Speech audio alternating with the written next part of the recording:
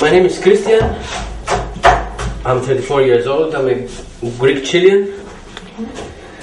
I moved to to Slovenia about a month, a year and a half ago. And last year, uh, they needed urgently a chef, a cook. So a friend of mine contacted me, and I said, why not? My name is Raidis. I come from Latvia.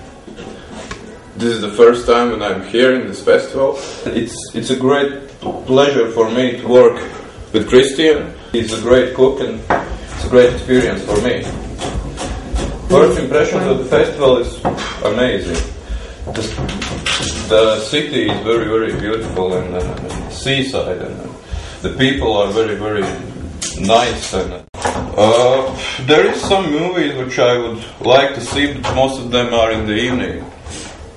So we will be here, and if, if there will be chance, I, I, I probably will go to some of them. But if not, then it's not a pity for me because I'm enjoying it. Food is really is really important part because when somebody was volunteering, they, they they work for no money, so at least they can get a decent meal after working all day.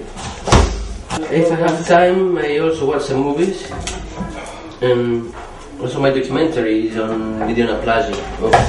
I really like traveling, and with a friend we had an idea to hitchhike from Barcelona to Palestine and film the whole trip, and also film, um, you know, have interviews of the people of um, international volunteers from the Palestinians, from Israelis, get a bit more of an idea of what is happening.